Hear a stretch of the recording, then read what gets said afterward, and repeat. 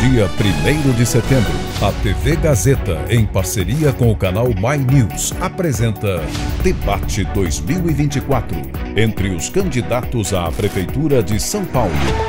Um confronto de ideias e propostas para a maior cidade do país. Debate 2024, domingo, dia 1 de setembro.